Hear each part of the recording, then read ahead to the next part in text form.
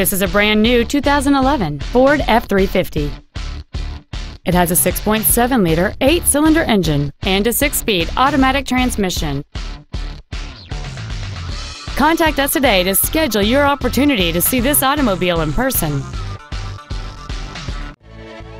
Sunrise Ford is dedicated to doing everything possible to ensure that the experience you have selecting your next vehicle is as pleasant as possible. We're located at 5500 Lankershim Boulevard in North Hollywood.